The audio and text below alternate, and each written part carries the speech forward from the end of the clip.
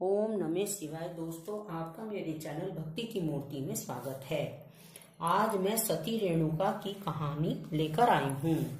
पौराणिक काल की बात है। एक सप्त ऋषि भृगु के वंशज थे जमदग्नि। उनके पिता का नाम ऋषि का था और माता राजा गादी की पुत्री सत्यवती थी। जब वे बड़े हुए तो उन्होंने राजा प्रसन्नचित की पुत्री रेणुका से शादी का प्रस्ताव रखा, जिसे राजा ने स्वीकार कर लिया। दोनों का विवाह हो गया।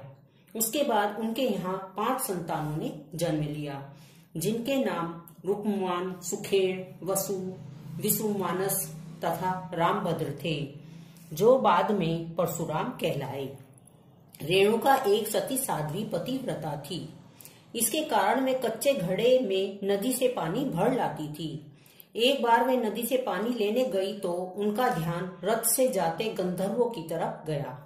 तो तुरंत ही उनका घड़ा नदी के पानी में मिल गया। वह डर के कारण वापस नहीं जा सकी और वहीं बैठ गई। जब ऋषि जमदग्नि को यह पता लगा तो उन्होंने अपने बड़े पुत्र को अपनी माँ का सिर काटने को कहा। तो बेटे ने मना कर दिया।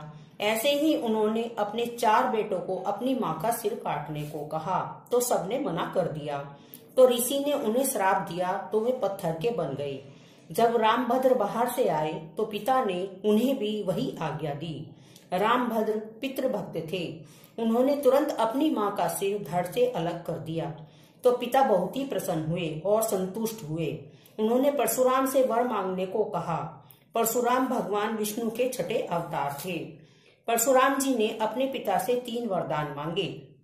माता को पुनर्जीवित कर दो। उन्हें अपने पुनर्जीवित होने का ज्ञान न रहे। और सभी भाई चेतना युक्त हो जाएँ। इस वरदान को देते हुए उनके पिता ने कहा कि तुम्हारा एक वरदान पूरा नहीं हो सकता। मैं तुम्हारी माँ को जीवित नहीं कर सकता हूँ, क्योंकि यह प्रकृति के नियम के विरुद्ध होगा। किंतु 21 दिन के बाद तुम्हारी माँ रेणुका तुम्हें दर्शन देगी।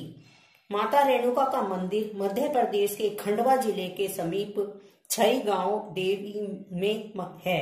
मान्यता है कि यहाँ चैत्र मास शुक्ल पक्ष की चतुर्दशी के दिन माता रेणुका का स्वयं प्रकट होती हैं। इस दिन रेणुका की प्रतिमा एक फिट की हो जाती है इस दिन माता रेणुका का दर्शन करने का बड़ा महत्व होता है इस दिन भक्त अपनी मनोकामना को लेकर माता दरबार आते हैं। ऐसा कहा जाता है, आज से 500 साल पहले माता रेणुका की प्रतिमा इस मंदिर में इस मंदिर में स्वयं ही प्रकट हुई थी।